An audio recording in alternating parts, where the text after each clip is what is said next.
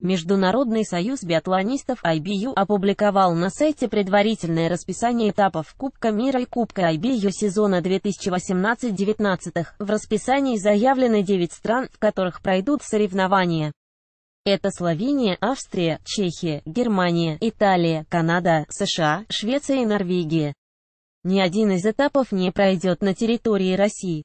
На сайте IBU отмечается, что расписание этапов и место их проведения еще может быть изменено. В сезоне 2017-18 в России прошли два этапа Кубка IBU Уваты Ханты-Мансийск и один этап Кубка мира Тюмень. На соревнования в Тюмени отказались приезжать некоторые спортсмены, сборные США, Чехии и Украины посчитали неправильным выступать в стране, где происходят допинговые скандалы. Больше важных новостей в телеграм-канале «Лента дня», подписывайся.